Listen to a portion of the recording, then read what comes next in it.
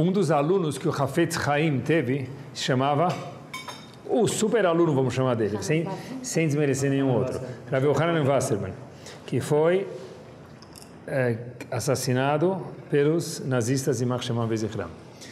Uma vez, o filho dele, chamado Rav Simcha Wasserman, ele viu um senhor com idade muito avançada, tinha uma idade já vivido bem. Ele perguntou para o cara, Bame Arach Tayamim, Habibi, o que, que fez você viver tanto tempo? Será que você fez academia? Comeu vegano? O que, que você fez para ter uma vida tão longa?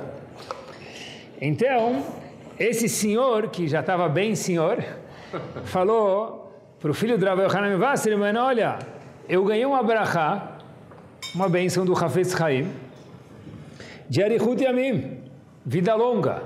Falou, sério, qual brachá que o Hafez Chaim te deu? Falou, o Hafez Chaim me deu uma brachá que eu tenho uma vida com muito longa, com saúde e com muito trabalho. Aí, o Rav Simcha Wasserman falou para ele, como assim? Tá bom, saúde, longa legal, mas com muito trabalho, isso é brachá, isso é uma bênção. Então olha que, olha que espetacular. Ele falou, é, eu pensei na mesma coisa. O Hafez Chaim falou para mim, quando ele viu minha cara, ele falou o seguinte: claro, porque uma vida longa, com saúde, sem fazer muita coisa, não vale nada.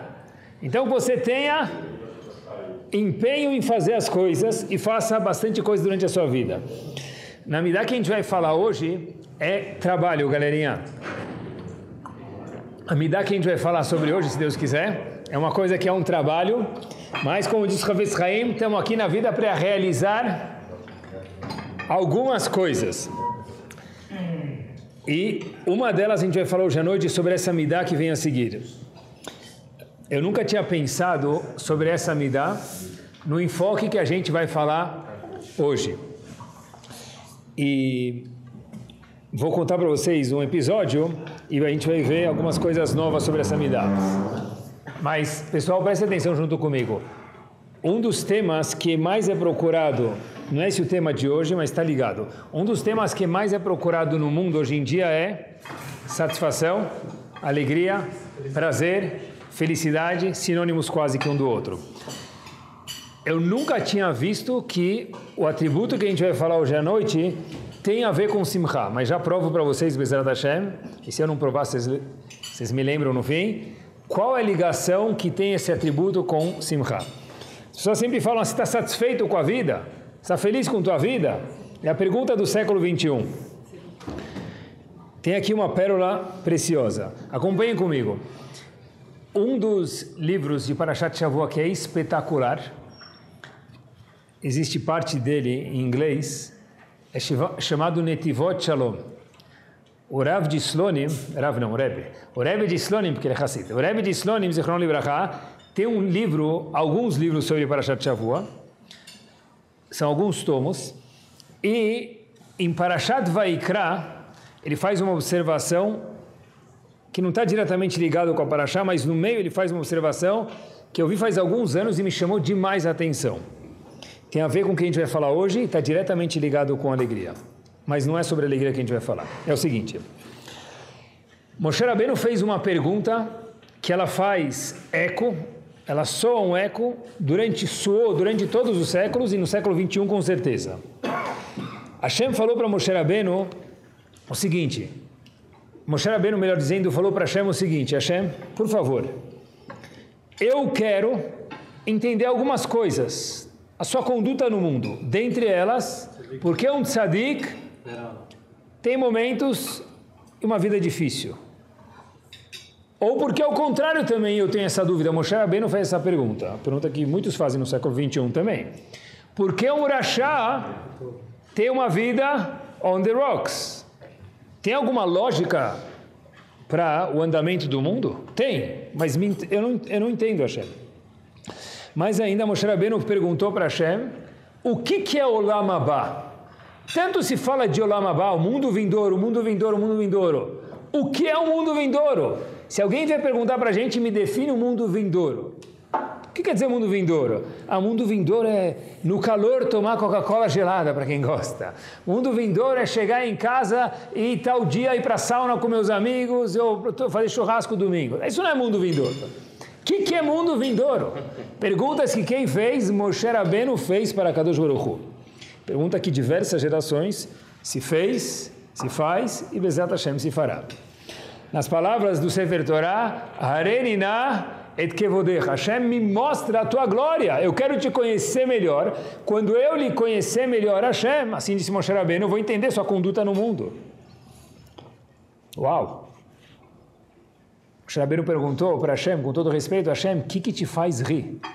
O que, que te faz feliz? Assim disse Urashi sobre esse passuco no Sefer Torah. Eu quero te ver. Que Hashem responde para ele? tá bom, Moshe Rabbeinu, depois você me fez essa pergunta, e são perguntas boas, Hashem falou, você vai conseguir ver a minha sombra, meu reflexo. Você vai entrar numa caverna, eu vou passar em cima da caverna, isso está escrito no Sefer Torah, aí você vê o meu reflexo, minha sombra, eu vou passar assim, é o máximo que você vai conseguir ver. Aí Moshe Rabbeinu falou, mas por que Hashem? O que, que, Moshe, que Hashem respondeu para Moshe Rabbeinu?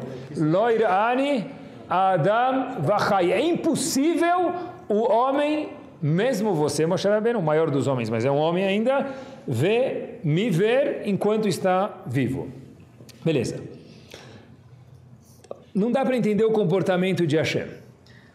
Agora, eu vi uma explicação sobre esse, essa passagem. Olha que interessante. O que, que Moshe Rabbeinu pediu para Hashem? Eu quero te entender. Fora que ele quer entender o comportamento, por que um tzadik sofre? Por que um rachá tem sucesso. O que, que é o Lamabá? Os Forno diz que olha o que, Moshe Rabbeinu quer entender. Como que é possível, pergunta de Moshe Rabbeinu, assim diz os Forno, um dos comentaristas no Rumash sobre esse passo. Que bomba, pessoal. Como que Hashem sabe o futuro e ainda a gente tem livre-arbítrio? Quando Moshe Rabbeinu falou para Hashem, Areni Nait Kevodecha, diz os Forno, a pergunta dele também era o quê? Me, me faz entender o mundo. Como que é possível que Hashem, você sabe tudo o que vai acontecer no futuro? Isso não limita o meu livre-arbítrio. Uau, que perguntas boas. Perguntas importantes, não? Agora, quando que Moshe Rabbeinu fez essas perguntas? Olhem que bomba de observação diz o Netivot Shalom. Quando Moshe Rabbeinu fez essas perguntas para Hashem? Quero conhecer o Lamabá, quero saber por que um tzadik sofre porque Gunashá tem Atzlachá, tem sucesso. Eu quero saber como você sabe tudo Hashem e ainda assim a gente tem livre-arbítrio. Quando ele perguntou isso para Hashem? Depois do Retaeg. E a pergunta que o Rebbe de Slunim faz no livro dele, Tinat Shalom, o que, que, tem a ver depois do pecado do bezerro de ouro fazer essas perguntas para Hashem? São perguntas existenciais da Torá. Perguntar se no começo da carreira ou depois que ele ganhasse o PhD dele, Kaviachol, no fim da carreira. O que tem a ver com o Retaegel com o pecado do bezerro de ouro? Fiquei pensando no exemplo, a galera acha que a gente não sai da escola, quer dizer, eu não saí da escola nunca. É o seguinte, você vê o diretor da escola bravo, você vê o professor da escola bravo, não devia ter ficado bravo, mas por qualquer razão o cara ficou. Não é esse o momento que o aluno vai fazer o quê? Professor, Dá para quebrar um galho? Eu tenho uma viagem marcada para Miami, arredonda mais meio ponto para mim passar sem recuperação. Habib, não é agora que você vai perguntar. Dá uma meia hora, dá uma hora, traz um chocolatinho, dá um elogio, mas agora não. Acabou de passar o pecado do bezerro de ouro, Hashem estava furioso, está escrito. O Shabbat falou: tem umas perguntas existenciais para você. Habib, mas agora? Por que justo agora? Ele perguntou. Às vezes, se o patrão está no mau tempo, né, está no clima ruim,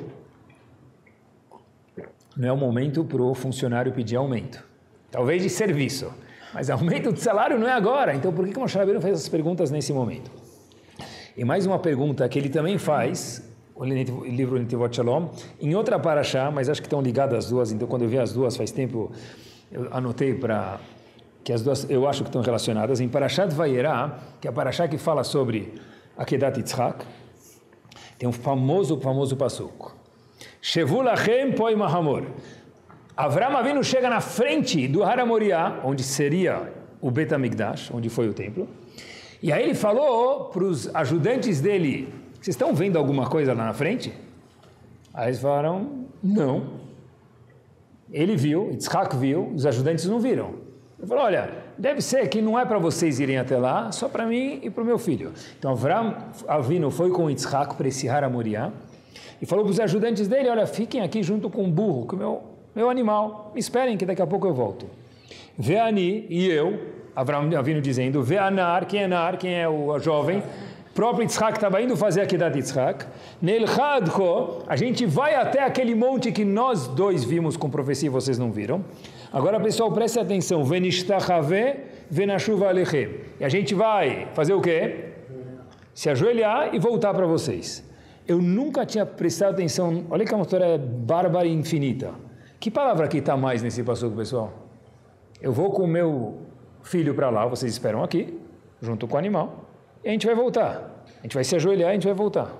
Que palavra que está mais? Ah, a gente vai voltar para vocês, mas que palavra está mais, galerinha? Eu vou me ajoelhar? Se a gente procurar na história inteira de Akedat Yitzhak, aonde ele se ajoelhou? O que quer dizer eu vou me ajoelhar? E por que você conta para os ajudantes eu vou me ajoelhar? Porque a Torá conta para a gente no século 21, eu vou me ajoelhar e depois eu volto. Que eu saiba, Avram foi fazer o quê? Akedat Yitzhak e não se ajoelhar. Eu vou me ajoelhar e depois eu volto. Eu nunca tinha prestado atenção nessa, nessa palavra mais. Ele responde as duas perguntas com uma única ideia de por que Moshe Rabbeinu fez perguntas existenciais depois do Reta Egel. E por que está escrito, quando, quando Avram Avinu foi fazer a Kedat Yitzhak, ele falou, eu vou me ajoelhar, o que, que muda isso? E onde ele se ajoelhou? O Midrash Rabbah fala para a gente o seguinte, Akol Bishut Ishtahaveya. Tem alguns episódios que tiveram, a gente teve êxito na nossa história, no mérito de que eles, quem, os sujeitos que a gente vai mencionar agora, se ajoelharam. Quem foi? Avram Avinu só voltou do Haramoriá com seu filho Yitzhak vivo, porque ele se ajoelhou em algum lugar lá. Esse é o Venishtahave, e depois eu vou voltar. A Torá está contando para a gente qual o mérito que Avram Avinu voltou porque ele, em algum momento, antes de Akedat Yitzhak, ele se ajoelhou para Hashem. Diz o Midrash, o povo só saiu do Egito, das mãos do faraó, porque se ajoelharam. Está escrito na Torá, Vaikdu, Vaishtachavu. Antes de sair do povo, do, do Egito, está escrito que o povo se ajoelhou. Mais uma vez aponta o Midrash, o término da Galut, quando o exílio terminar no fim dos dias, também vai ser no mérito de, do povo ter se ajoelhado para Hashem. Por quê, pessoal? Um passo que a gente fala todas as vezes nas rezas de Rosh Hashanah Yom Kippur. Yomahu, e será nos dias vindouros, pessoal, passo que a gente fala na Tfilah. Veshtachavu Lashem Be'ara Kodesh Birushalayim. E vão se ajoelhar para Hashem no Hara Kodesh, naquela montanha do Hara Moriah, mesma montanha de Avram Avinu, onde aconteceu a queda de Yitzhak, em Jerusalém. Então diz o Midrash, tanto Avram Avinu, quanto o povo, quanto no futuro as pessoas vão ser salvas no mérito de quem? De se ajoelhar. Tá bom. Pergunta o Rebbe de Slonim, o que, tem tão importante de se ajoelhar? Quantas pessoas fazem flexão todos os dias? Você ajoelhar no chão. O que, que tem de tão importante se ajoelhar? Por isso a gente saiu do exílio. Por isso que a gente vai sair do exílio. Por isso que Avram Avinu voltou, vivo com seu filho Yitzhak, Quando que a gente sabe que alguém se ajoelha? Um momento muito famoso no ano, pessoal, que a gente conhece que alguém se ajoelha. Show, Kohen Gadol, não é? Kohen Gadol, ele entra no, no os Faradim ainda cantam, os que nós não sei se cantam isso, mas os Faradim cantam, vea Kohanim. O que aconteceu quando o Kohen Gadol entrava, ele falava o nome de Hashem, ele se prostava perante Hashem, não só ele se abaixava, como também todo mundo que escutava o nome de Hashem, também se ajoelhava. Entre parênteses, entre parênteses, pessoal,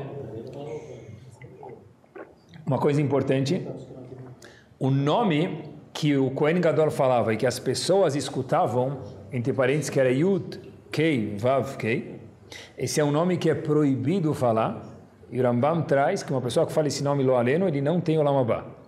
O nome que nós falamos hoje, de Hashem, é Baruch Atah Ado, esse nome que não pode falar Munai, esse é o nome que se faz. Antigamente se falava o nome Yud Kei Vav Kei somente dentro do Betamigdash. Esse era o nome que Cohen falava e quem escutava o nome se prostrava. O que, que tem de tão grande se prostrar, pessoal? De se ajoelhar? Que mérito grande que tem. Olha que espetacular. A gente fala todo o Shabbat, Nishmat Kol Chai. Kol Berech Lechat Ichra. Tradução, bom a gente saber o que a gente fala. Todo joelho vai se ajoelhar para você, Hashem. Vechol Koma Lefanecha Tishtachave. O que quer dizer isso? E todo ser ereto, Koma, direto, reto, vai se prostrar perante você, Akadosh Baruch Hu. É o seguinte, o conceito de leista de se prostrar perante alguém, quer dizer o que, pessoal? Eu estou me subjulgando, me anulando perante ele, no caso ele maiúsculo. Olhem que show. O fato que Avram Avinu se ajoelhou perante Hashem antes de Akedat Yitzhak, que ele falou para Hashem, eu estou me anulando para você, Hashem. Eu me anulo para sua vontade. O que quer dizer isso, me anular para sua vontade? Hashem, você, alguns minutos atrás, falou para mim que eu vou ter um filho. E eu tive esse filho com 100 anos, que era um milagre. E alguns momentos atrás, você falou depois de novo, mata o seu filho. Eu não estou entendendo nada. Eu me anulo perante você, Kadosh Baruch. Eu não entendi nada. Mas se você mandou, eu obedeço e faço. Isso é o conceito de leishtachavot, se ajoelhar, semevatel, se anular perante Hashem. Eu faço parte de Hashem. Pessoal, olhem que espetacular. Por que, que Moshe Rabbeinu, justo depois do Retaegel, olhem que bomba de resposta ele fala, o Netivot Shalom. Por que justo depois do Retaegel, do pecado do bezerro de ouro, ele perguntou para Hashem perguntas existenciais? Eu quero te ver, Hashem. Eu quero entender sua conduta no mundo. Eu quero entender tudo que a gente mencionou há momentos atrás. Moshe Rabbeinu falou, uau, nas frases, na frase, melhor dizendo, que o Rebbe de Kotzk falou, não tem nada mais inteiro do que um coração quebrado. De Kotzk, olha que bomba, pessoal. Moshe Rabbeinu entendeu que nesse momento o povo reconheceu o erro. Ele próprio é líder de um povo que reconheceu o erro, um povo que está subjugado a Hashem, e eu sou o líder desse povo. Olhem que bomba, pessoal. O que, que Moshe Rabbeinu falou? Agora é o melhor momento para eu perguntar as coisas mais cabeludas do mundo para Hashem. Eu quero te ver, Hashem.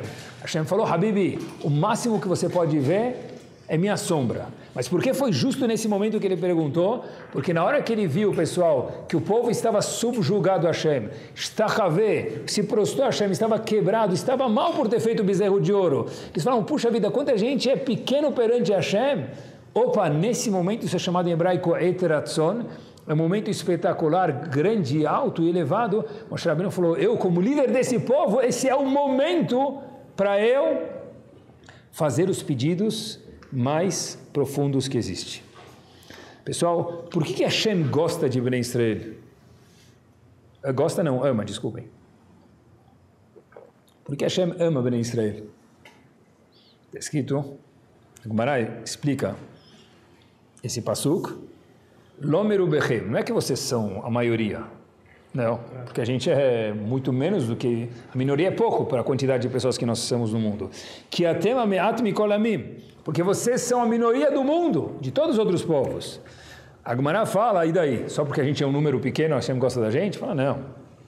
Meat não somente quer dizer que nós somos um número pequeno de população judaica no mundo, mas me'at quer dizer que quando Hashem manda brachá para a pessoa, atenção agora, mema'atim etatzmechem, a pessoa continua pequena. Então, por que Hashem gosta de Bnei Israel, está escrito na Gemara? Porque mesmo quando Hashem dá abundância, dá fartura, dá brachá para a pessoa, nós continuamos nos comportando como, me'at. O que é me'at? Não que Hashem deu pouco e continua reclamando, não é isso. Meada é que a gente não se sente grande e inflado perante Hashem. É por isso que Hashem gosta da gente. Em português, chamado o quê? Humildade. Quem era o maior dos homens da, na história do mundo? Moshe Rabbeinu, não é? Mas não é no Shur que ele é o maior homem do mundo, é na humanidade. Se a gente procurar no Rav Google, os homens que mais impactaram a humanidade, um dos homens que aparece é Moshe Rabbeinu. Moses, Moshe Rabbeinu, tanto faz. Agora, quem era o maior anav do mundo, maior, a pessoa mais humilde do mundo? Moshe Rabbeinu. Pessoal, olha que espetacular. Seu schlepper e seu anav, nishkaina chokhma. Não é chokhma. No big deal. Se o cara tem 10 dólares, ele acha que ele é o cara mais rico do mundo, ele é um majnun, não é anav. Moshe Rabbeinu era o maior homem do mundo até o século 21, no livro mais vendido do mundo. Ele é a maior personalidade do mundo, uma das dez, de acordo com o mundo até hoje em dia. E ele é o maior anav que houve e haverá na história do mundo. Isso é simplicidade, isso é humildade, isso é anavá. Olhem só a atitude desse homem. O que quer dizer anavá? Uma atitude de babá, pessoal, de verdade, com babador. Ah, eu já conheço a história. Tentem viver junto comigo. Parashat Itró. O que aconteceu em Parashat Itró? Por que Itró ficou tão famoso, Itró, sogro de Moshe Rabbeinu? Não é porque ele era sogro de Moshe Rabbeinu, que ele ficou tão famoso. Chegou para Moshe Rabbeinu e falou, olha, Moshe Rabbeinu, eu tenho um conselho para te dar. O Moshe Rabbeinu escutou o conselho, qual era o conselho? De fazer terceirizar, em vez de você ter pessoas que trabalham para você, funcionários, pagar impostos, né? Ele falou para o Moshe Rabbeinu, Habibi, terceiriza aí, pega empresa de limpeza, empresa, empresa de, de despachante, não, não, não contrata despachante seu, pessoal, né? empresa, pega, paga, paga advogado, não tem um advogado na sua empresa, terceiriza tudo. Não foi isso que Tró falou? Moshe Rabbeinu estava sozinho cuidando do povo, e Tró, o sogro dele, falou, Habibi, terceiriza, tá bom? Pessoal, tenta entender junto comigo. Itró recebeu um conselho de quem? Moshe Rabbeinu, melhor dizendo, desculpa. Recebeu um conselho de quem? Itró. Itró era sogro dele. Receber conselho do sogro, Baitzel já é difícil. Não é? Estou tentando imaginar por vocês, não por mim. Receber o conselho do sogro já é difícil. Number one. Número dois, é o maior homem que houve e haverá na história do mundo. Então recebeu o conselho de qualquer um ao cubo. Agora, como que Moshe Rabbeinu conseguiu escutar o sogro? Habib, eu estou cuidando do povo, dois milhões de pessoas, faz dias, meses e anos. Agora você me dá conselho? Um dos, um dos mefarshim sobre o Humash, que viveu relativamente recentemente, chamado Rav Shimshon Refael Hirsch, olha o que ele fala sobre essa passagem de Parashat Yitro. Ele fala o seguinte: Moshe Rabbeinu tinha muitas aptidões, inúmeras, mas algumas ele não tinha. A compatibilidade de fazer leis, legislar de Moshe Rabbeinu era pequena. Como organizar um povo, dividir eles, tribunal superior, inferior, mediano, Moshe Rabbeinu não sabia fazer isso. Moshe Rabbeinu olhou para si e falou: Eu sei que eu não tenho essa capacidade. Se alguém vier me dar um conselho, eu estou pronto a ouvir. Uau! O maior homem do mundo falou: Estou pronto a ouvir um conselho do meu sogro, porque eu estou ciente que eu não sou a dona Cola, eu não sou o Big Boss e tem coisas que eu não sei fazer, inclusive coisas que parecem ser simples demais quando a gente lê o Rumash. O que, que Itró falou para ele? Em vez de fazer um tribunal e você receber todo mundo, faz um tribunal de 10 juízes, de 50 juízes, de um juiz. Conforme a gravidade do caso, vai, vai passando de um tribunal para o outro. A última instância vai chegar lá em Brasília, vai ser você, Moshe Você vai ser o tribunal superior. Moshe falou, muito obrigado pelo conselho e colocou na prática. Vou falar obrigado pelo conselho, é uma coisa, já é nobre. Ainda colocar na prática, quer dizer que Moshe era o quê? Anav um homem anav sabe que ele não sabe tudo e quando alguém fala alguma coisa para ele, ele não fica ofendido. Isso é um dos pontos que a humildade traz para a pessoa. Moshe Rabbeinu, olha que interessante, era chamado Eved Hashem. Isso é anavá. O que quer dizer Eved Hashem? Escravo de Hashem, é o que a gente falou antes. Bishut Ishtachavayá, disse o Midrash. Com o fato de ter se prostrado, houveram inúmeros fatos bombas na história de Ben Israel. Isso é Moshe Rabbeinu, o maior anav, ele foi o homem que mais se prostrou para Hashem. Não que ele andava corcunda, mas ele entendia o lugar dele perante a Kadosh Baruch Isso é Anav. Eu estou pronto para aprender de outras pessoas. O que, que tem Anavá a ver com Simcha, pessoal? O que, que tem Anavá a ver com alegria? Eu não achava que tinha nada a ver, mas tem tudo a ver. Porque eu sei, eu sei o meu espaço, eu sei quem eu sou. Eu não preciso ter tudo no mundo. Ou é tudo ou eu não estou feliz. Ainda me falta, me falta, me falta. Se eu sou uma pessoa que tem simplicidade, óbvio que eu posso querer mais. Mas não porque eu quero mais que eu não posso entender a minha dimensão perante os outros, perante a Hashem, perante a comunidade. A Navá está completamente ligado com Simcha também, com alegria, com satisfação, com isso está bem. Moshe Rabbeinu falou, eu tenho a capacidade, por ser um Anav, de escutar um conselho e levar ele em consideração. Olhem que, por que, que a minha idade Anavá, fiquei pensando comigo mesmo, por que, que ela é tão difícil? Por que é tão difícil ser Anav, ser humilde? Eu acho que talvez a resposta seja porque a Navá, ela balança, ela chacoalha, ela cutuca muito o kavod da pessoa, a honra da pessoa. Se a gente for olhar, e está escrito isso em muitos livros, que o que move a pessoa a viver é o kavod, é o respeito, é o orgulho. Não é? Você pega uma pessoa que ele, graças a Deus, já financeiramente já se resolveu. É preciso para os meus filhos, ele tem para os filhos e para os netos. Para os bisnetos já não vai saber de qualquer jeito. Então pronto, ele já está garantido. Por que ele trabalha? Sorte da esposa dele, tá bom para ele não ficar em casa, mas por que ele trabalha? O que, que move o homem, esse ser humano, que já tem número X, que já deu aí? Já passou dos mil ashrina aí. Não de, de, não de vida, de ano, mas de, de, de, de conta. Então por que, que faz ele trabalhar, pessoal? Kavod. E quando eu tenho mais, o que acontece? Eu vou estar bem. E se eu tiver mais ainda, o gerente do banco vai estar lá na sinagoga, ele vai me ver, ele vai me conhecer, eu vou sentar mais na frente, eu vou ganhar mais uma aliada do Gabai. Eu vou poder ir naquela ocasião, vou poder levantar o dedo, mostrar quem sou eu. A pessoa tem um, uma palavreado maior, funciona mais. O cavodo move a pessoa. E é assim que é a realidade do mundo. Se o cavodo move a pessoa e a humildade, às vezes, impacta no cavodo, a midade, a navá de humildade, se faz em parte difícil e tem que trabalhar, porque às vezes um se choca com o outro. So, olhem, olhem que interessante, o que quer dizer Anav? Um dos rabanim recentes, chama Rav Yeshua Leib Diskin, ou conhecido como Maril Midiskin, uma vez ele foi convidado por um Brit Milá. Um aluno dele foi fazer Brit Milá no filho, então falou para o Rav, eu queria muito que o senhor viesse. Então ele falou, que horas vai ser, onde vai ser? E marcaram para tal horário, e o Rav não chegava. O Rav não chegava, não chegava, esperaram 10, 20, 30 minutos, passou a tolerância, trach, fizeram o Brit Milá. Quando termina o Brit Milá, quem chegou? Chegou o Rav. Então o, o, pai do menino falou: Olha, eu falei para o senhor, peço desculpas, fiquei com vergonha, as pessoas já estavam aqui. Puxa, se eu soubesse que o senhor ia demorar mais um minuto, eu teria esperado mais um minuto. O que, que o marido me disse que ele falou para ele?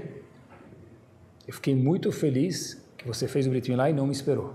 Porque, por, por que, que precisa me esperar? Se eu demorei, por que, que todo mundo tem que me esperar para poder fazer o Brit Milá? Eu não só que não fiquei chateado, como eu fiquei feliz.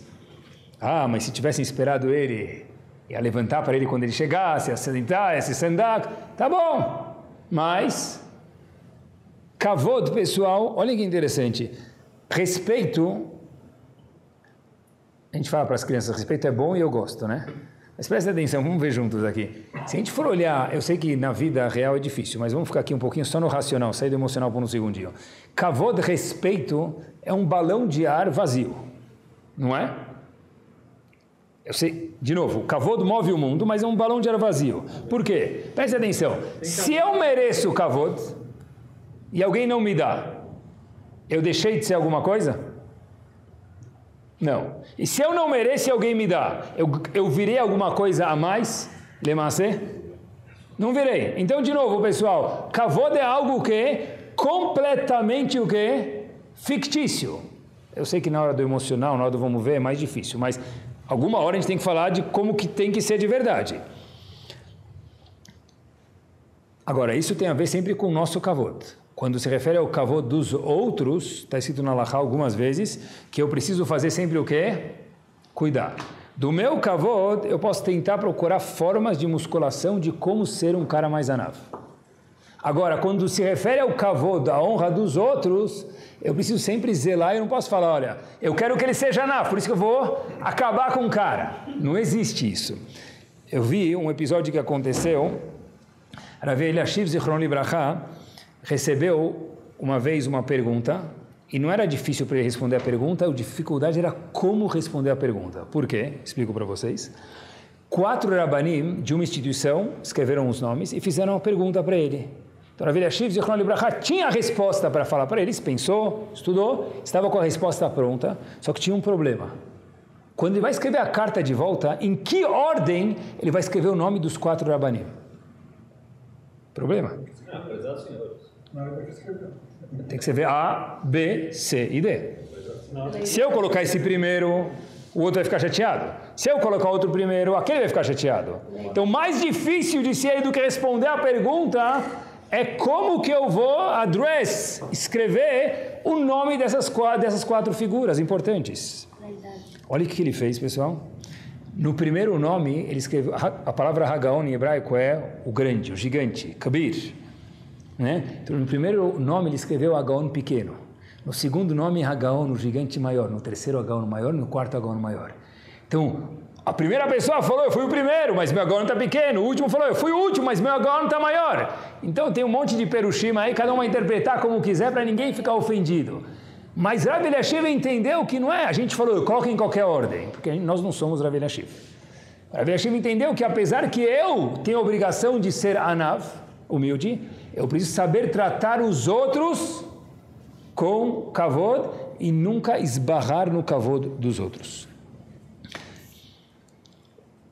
Uma pessoa que tem gavá, diz o Gaon de Vilna, essa pessoa, a vida, gavá é orgulho. A vida inteira da pessoa ele passa insatisfeito e infeliz. Repito, assim diz o Gaon de Vilna, uma pessoa que tem gavá, ele diz o Gaon de Vilna, kol yamav. Todos os dias da pessoa ele passa triste. Por quê, pessoal? Isso ele não fala, mas vamos aqui falar. Poxa, por que, que fulano não me convidou? Antigamente tinha convite, não sei se vocês lembram, da cerimônia e da festa. Vinha com, vinha com clipes pequenos. Se a pessoa era convidada na cerimônia não na festa que ele fazia, o convite não é nem para grisar, de tanta raiva, ele ia parar no lixo, não é? Então a pessoa fala, por que, fulano não me convidou na festa? Diz o Divino, não, uma pessoa que tem orgulho, e todo mundo tem, faz parte, eu estou falando comigo mesmo, a pessoa tem que falar, uau, colhe amar, todos os dias a pessoa está atordoada, ele não está feliz, diretamente ligado com o Simcha Samidá. Fui na sinagoga, o Gabai passou na minha frente, na hora do Shabat. Eu olho para baixo, olho para o Sidur, assim, certeza que ele não vai me convidar, mas eu estou olhando com um olho para ele, outro lado para o Sidur, e aí, Habib, vai me convidar? Não é assim?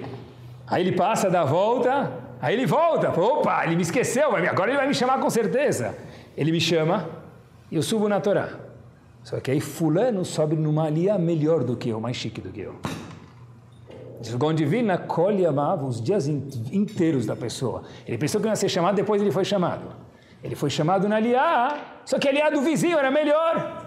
Então o que aconteceu? Os dias todos a pessoa passa infeliz.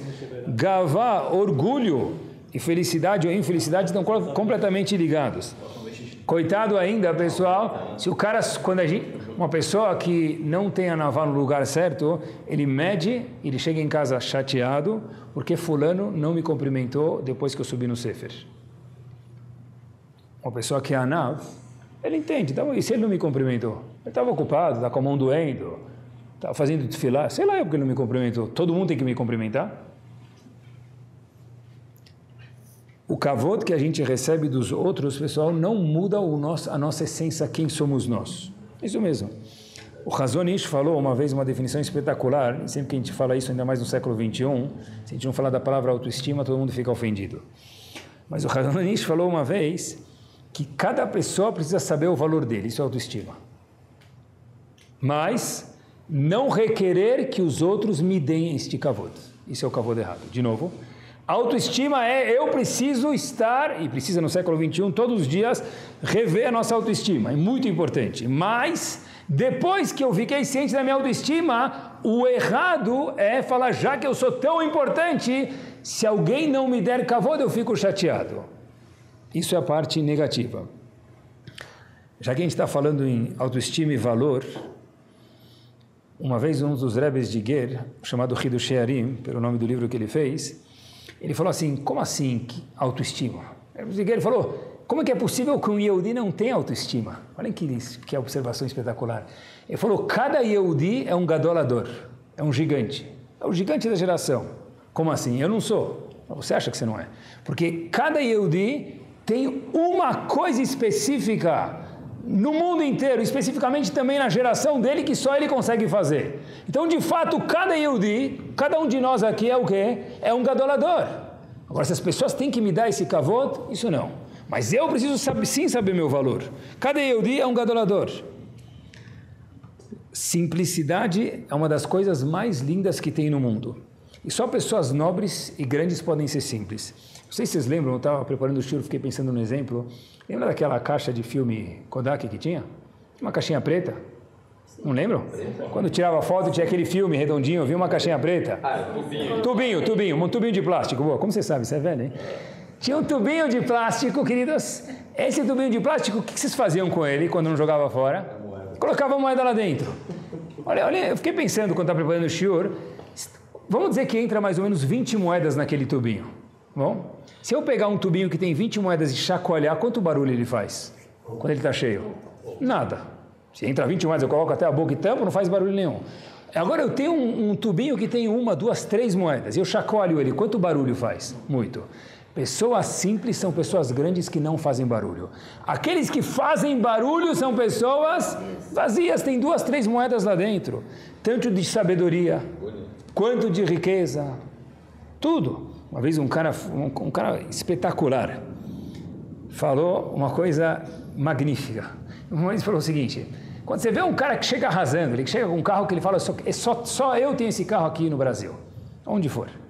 De duas uma, Rabino ou que o cara fez dinheiro ontem à noite e quer aparecer, ou que o cara está quebrado e não quer que ninguém saiba. Espetacular! O cara que tá para... chega aí arrasando, ó, vejam que eu cheguei. Né? Amarelo gema, vermelho rouge.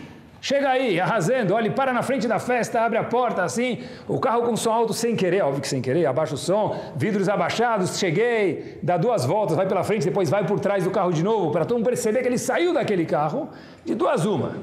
Ou o cara virou rico ontem, ou o cara está quebrado e quer aparecer. Porque, pessoal, de fato, uma pessoa que tem é aquela caixinha do filme, uma caixa cheia de moeda, ela não faz barulho. Quem faz barulho é sinal de ignorância, de acordo com a Torá de, sinal de pequenez. Fiquei pensando alguns exemplos práticos, como a gente sempre faz no Shiur, me toma muito tempo pensar exemplos que para mim sejam práticos, espero que sejam para vocês também. É o seguinte: não tem uma resposta, mas sempre vale um pensamento sobre isso, que está diretamente relacionado com a Anavá. Quanto deve se gastar numa festa?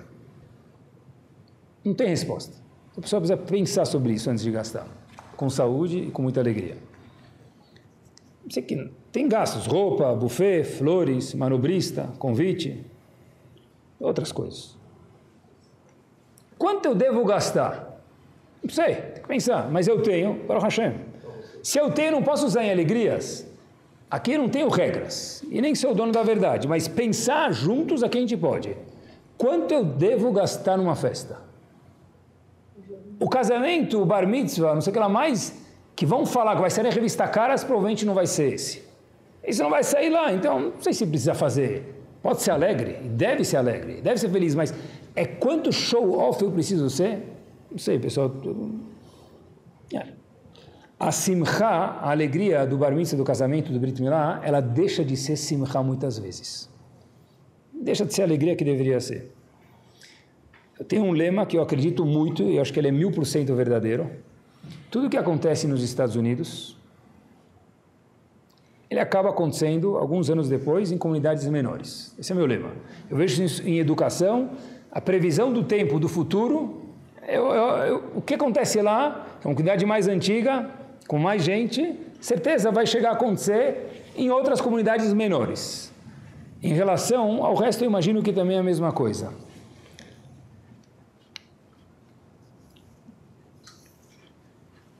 Aconteceu um episódio que ficou famoso, e eu leio bastante, eu gosto de aprender.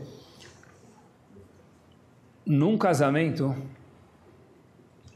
um Rosh Shiva foi casar sua filha, e durante a primeira dança do casamento, ele teve um ataque do coração e ligaram para Tzalá. Claro que é real. Por quê? Por causa das pressões econômicas que havia sobre esse homem, da festa, do buffet, do manobrista, do canapé, do charroré, um milhão de coisas que tinha, o homem desmaiou. Teve um ataque na primeira dança e foi embora do casamento. Pessoal, por quê? Porque são muitas obrigações. E a pergunta é: a simcha, a alegria, se mantém simcha ou vira uma pressão, vira um peso? Uf, ainda bem que passou. Mas é isso que tem que ser um bar mitzvah? Graças a Deus que terminou. Ah, não aguento mais ver gente, não aguento mais pagar conta, não aguento mais ficar preocupado com isso, com aquilo, com aquilo, se vai dar certo. Graças a Deus que acabou. Pessoal, me permitam a observação feia aqui. Quando a gente tem que falar graças a Deus que acabou? Shiva, Barmenan, faleceu alguém? O Hashem que passou, é pesada a semana, lo. Mas quando passa uma alegria, eu tenho que falar graças a Deus que já terminou. Pena que terminou, estava tão gostoso. Não tem que ser uma pressão para a pessoa, uma obrigação. Outra coisa que eu acho que está completamente ligado também com a Navá é com quem nossos filhos vão casar. Eu escolho o que é melhor para mim, o que, que a sociedade vai falar da nossa família, ou o que, que é melhor para o meu filho de verdade, para minha filha de verdade. Será que eu preciso olhar quem vai tratar melhor minha filha? Quem vai tratar melhor meu filho? Ou alguém que vai e fala, uh, esse é meu genro, ele anda, ele vai sentar na primeira cadeira da sinagoga, vai sentar não sei aonde, e a casa da pessoa vai ser um circo. O que, que nós precisamos olhar antes de casar um filho? Isso requer anavá. Fala, poxa vida, eu quero aparecer, eu quero show off, ou eu sei meu lugar. Eu estou procurando meus valores, e meus valores eu não troco por nada. É bom para eles, ou o que a comunidade vai falar de mim? A Navá também é, não é. A Navá não é eu com Hashem somente, é eu com as pessoas. Adoro a história do Rev de Barditchev. O Rev de Barditchev, sabe que antigamente os rabanim, muitas vezes eles queriam sair do holofote, o que, que eles faziam?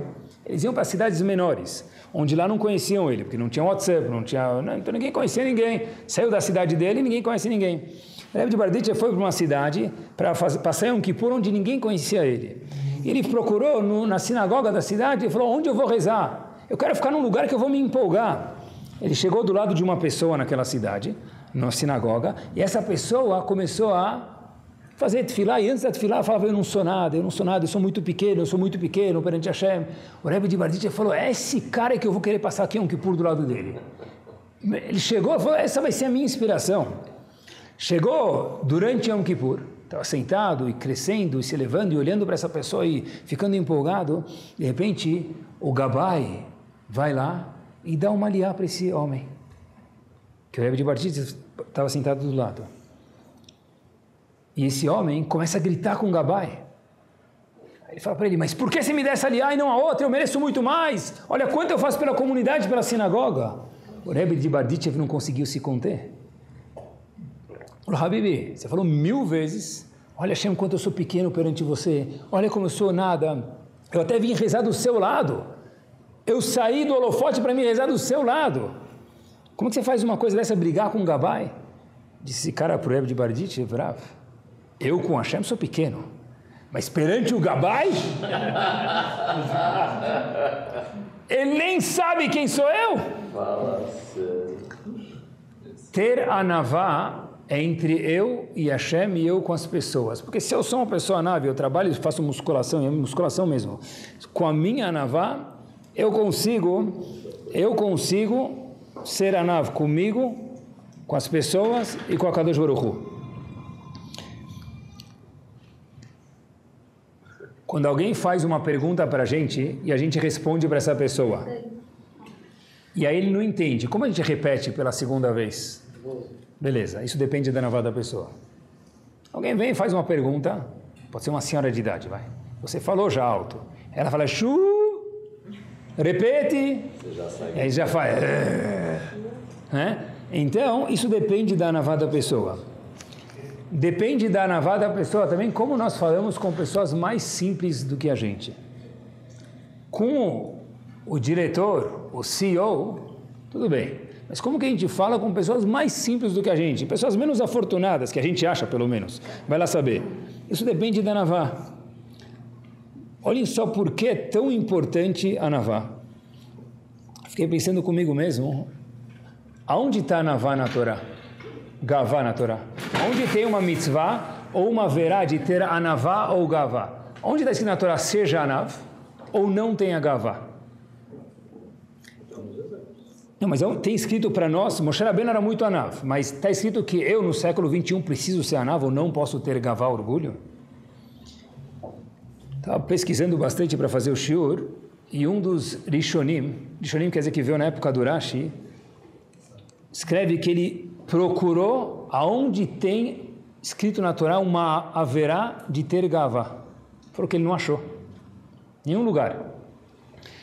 Pediu tanto para Hashem, fez tanta tefilá, ele escreve que Hashem mandou para ele a resposta no sonho. Pessoal, olhem que bomba. Tem um passuco na Torá que fala Ishamer lecha pentishkach et Hashem elokecha. Cuidado, disse a Kadosh Baruch para não me esquecer. Hashem falou, esse é o Mekor, essa é a fonte de Gavá. Porque uma pessoa que tem Gavá, orgulho, não tem Hashem na vida dele. É como se fosse um elevador. Entra um passageiro, entra um passageiro lá ou tantos quilos. Se a pessoa acha que ele pesa tanto, ele é tão inflado, ele é tão bom, então não entra Hashem junto com ele. Hashem vai falar, sobe no elevador, eu vou no próximo. Aonde está o Mekor, a fonte que não pode ter gavá na Torá, e chamer lecha pentishkach Hashem elokecha. Teve que vir um sonho para ele, por quê? Não está escrito para não ter gavá, não ter orgulho, mas uma pessoa que tem orgulho não tem Hashem na vida dele. Uma vez um senhor falou para o Havetz Haim Rav, eu estou protegido. Yitzhak falou para ele por quê? Falou, eu tive amigos que perderam dinheiro com real estate, com imobiliária, outros que perderam em finanças, em investimento, outro em gado. Eu estou resolvido. Tecido não, tecido todo mundo só ganha.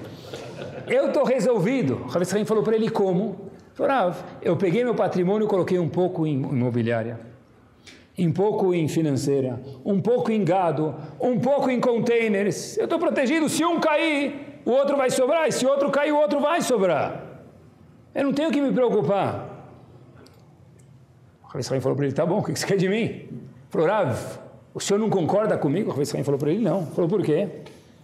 Porque se Hashem, lo aleno, que não queira, quiser que você não tenha usufruto de tudo isso, em vez de tirar o financeiro, imobiliário, imobiliário o gado, você terá tirar você do mundo, acabou. Olhem como que é. A gente chega às vezes e fala, oh, eu sou o cara. Ou oh, banheira de ofurô. Como que a gente se sente quando tem um jejum de 12 horas, pessoal?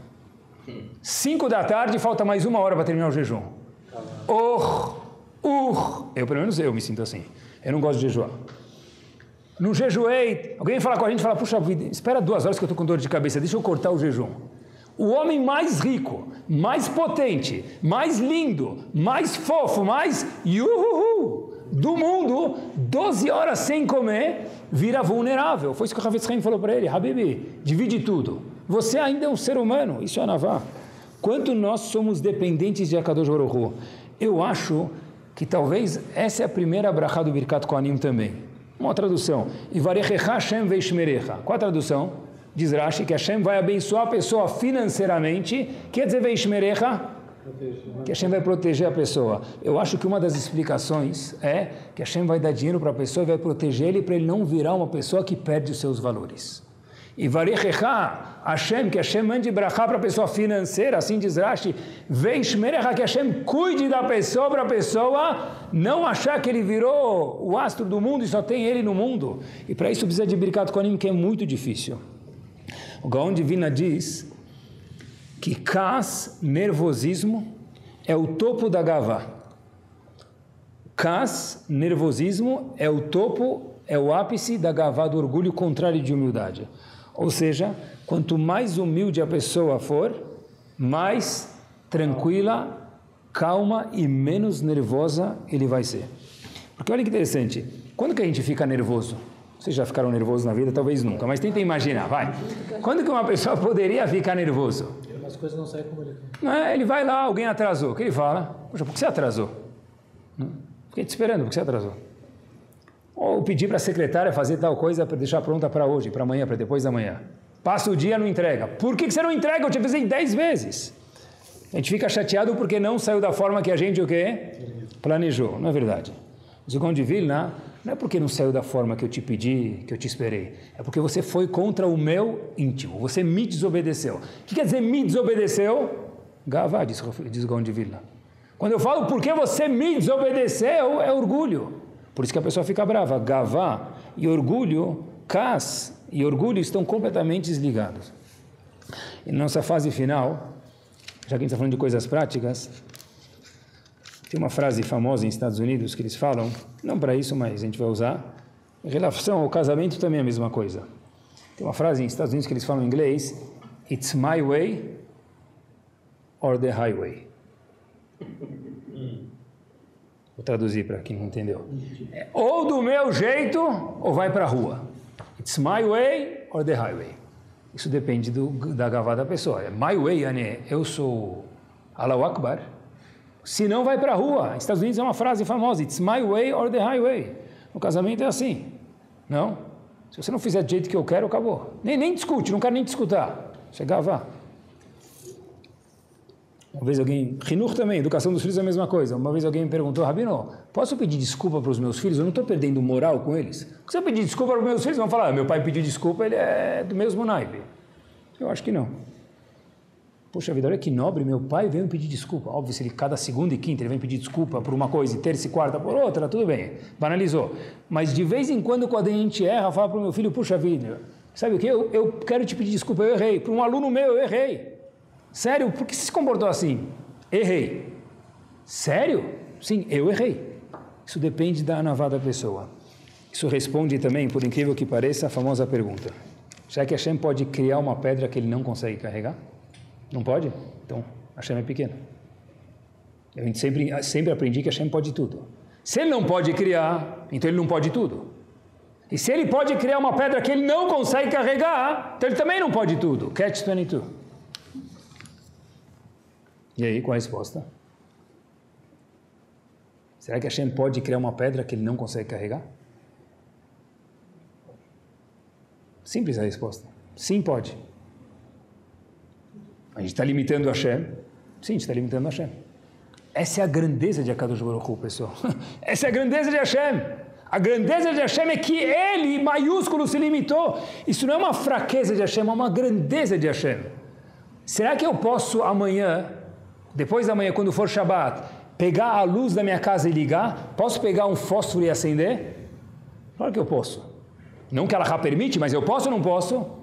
Então por que a gente não faz a mesma pergunta? Resposta é quando Hashem criou nós, seres humanos, ele falou, Habib, você tem as rédeas na sua mão. Se você quiser me desobedecer, você tem o livre-arbítrio. Hashem pode criar uma pedra que ele não consegue carregar? Pode. Isso não é uma limitação de Hashem? É. E daí? Essa é a maior anavá que Hashem tem no mundo. Ele criou seres humanos, nós, que podemos, infelizmente, de um lado, ir contra Kadosh Baruch Hu. Hashem é anav. E no último exemplo, com isso a gente termina, ser anav é que às vezes a gente não precisa falar tudo o que a gente sabe. E com esse episódio a gente termina. Rav Tzvi Pesach Frank foi um dos Rabanim de Jerusalém ele foi Rav de Jerusalém durante 36 anos. Sentou no Bedin, na corte, imagina quanto que esse homem sabia. Uma vez Tzvi Pesach Frank, ele foi num bar mitzvah, ele chega no bar mitzvah, escuta a drachá do bar mitzvah. Talvez ninguém prestou atenção, mas ele prestou atenção, tá bom? Drachá do bar mitzvah, o aluno dele que estava sentado do lado dele falou, Rav, o menino fez uma pergunta, falou uma bobeira de resposta que não respondeu nada. Que ele falou não procede. Rav Tzvi Pesach Franco falou para o aluno dele, e daí? Por que, que o senhor não levantou a mão e falou, olha, isso não procede. Falou, Torá errada. Rav Tzvi Pesach Franco falou para esse aluno do lado dele, falou, bar mitzvah é meu ou daquele cara? O aluno falou daquele cara, não sei, foi daí. Então, se não é meu, por que eu preciso falar? Isso é navar. Não é todo momento que a gente precisa dar um comentário, isso é navá. Tem gente na comunidade, pessoal, que buzina muito. Esses são os que não fazem nada. E tem gente que faz muito, são pessoas que só tomam na cabeça das pessoas em volta de Hashem, tem muita brachá, mas fala um pouco. Não é sempre que a pessoa precisa falar, isso tem tudo a ver com anavá. Saber ficar quieto é anavá. A única letra que não tem som em hebraico qual que é? Bet sem vogal, o que, que fica? B. Gimel sem vogal, G. Qual a única letra do alfabeto hebraico que não tem som sem vogal? Aleph. Aleph sem A, E, I, O, U, não tem som nenhum. Como que é composto um Aleph? Um Aleph é um Vav deitado e dois Yuds. Um Aleph, letra de mão, é um Vav deitado e dois Yud. Quanto vale o Vav? Seis. Quanto vale cada Yud? Dez e dez. Vinte e seis. O que é vinte e seis? O nome de Akadosh Baruch Hu. A única letra que não tem som sem vogal é o Aleph. Saber ficar quieto, é, às vezes, é estar do lado de Akadosh Baruch Hu. Que, Bezat Hashem, a gente possa ser Anav, possa ser Sameach, possa, como disse o Gaon Divino, uma pessoa que tem cavalo aleno, ele não tem alegria na vida, não vive bem, que a gente possa ver o Gabai passando na nossa frente e ficar feliz com a nossa aliá, e quando não tiver aliá, Hazak o Baruch para o outro que subiu no Sefer Torah. Boa noite.